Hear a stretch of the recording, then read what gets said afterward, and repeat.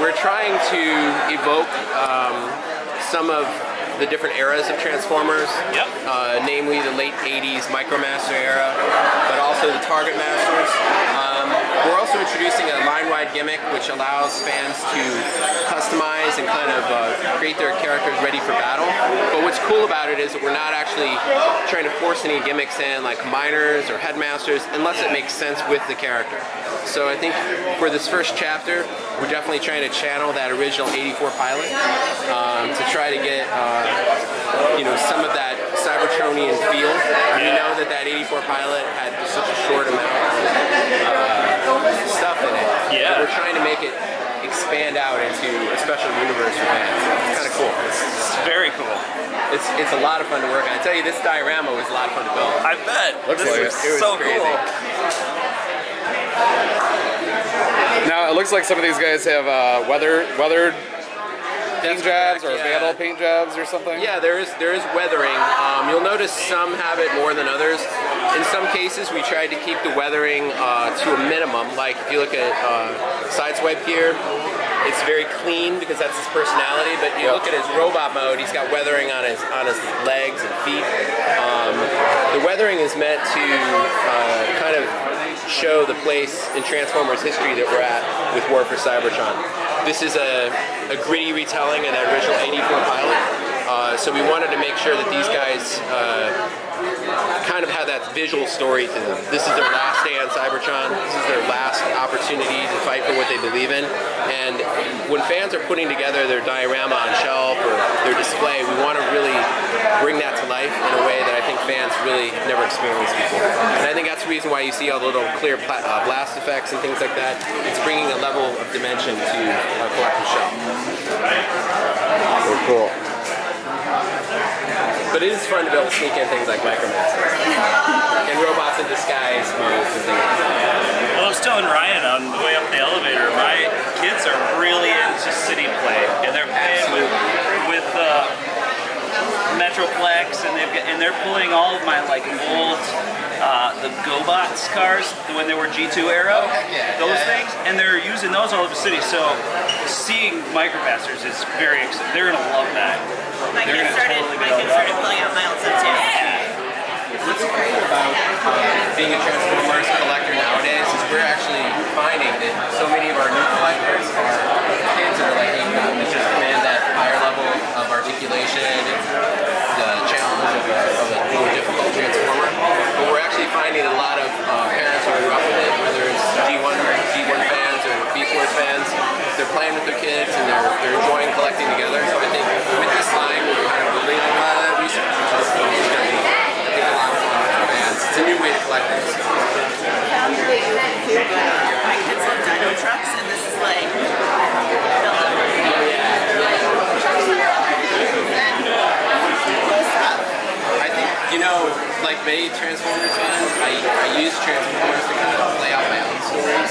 So, although, you know, the 84 show is incredible, I think I had the most fun as a kid kind of building out my own narratives on the show. And I think giving fans and kids the props is a big part of what I'm trying to do.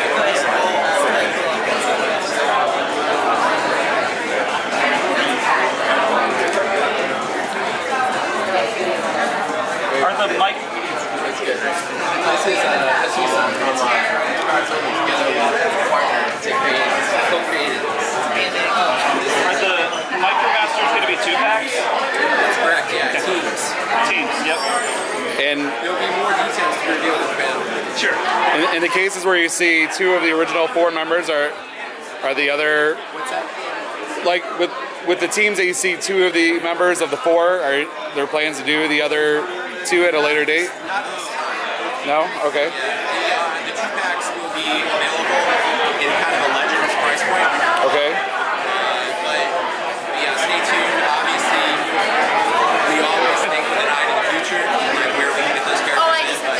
like right now, because of the way the line is structured, oh they're structured to do.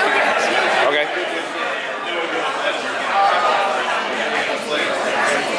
Thank you.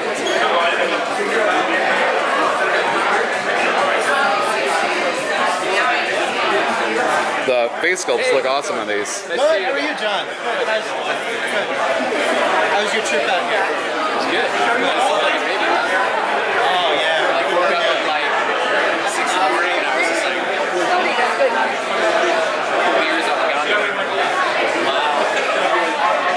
Thank you. My hotel, you can't find the It's, it's all outside. It's a huge um, resort.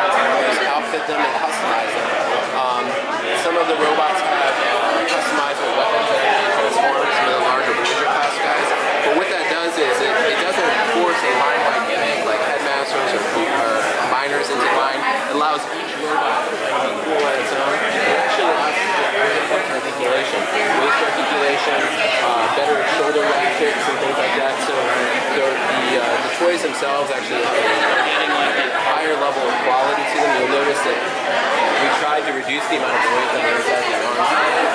So that as, as, fans start to collect this new trilogy, they're collecting almost like mini masterpiece versions of each of these characters.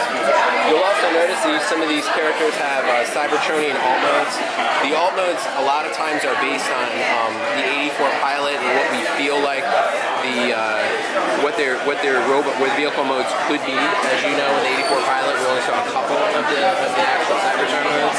But um, where we can, like Ultra Magnus, we're actually taking a page from previous eras of Transformers, uh, like the Robots in Disguise series. So we know that fans of Transformers are not just G1 fans, uh, Robots in Disguise fans, Beast Wars fans, Armada fans, animated fans, Prime fans.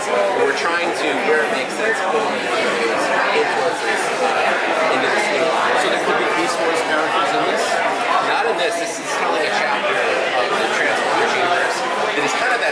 네.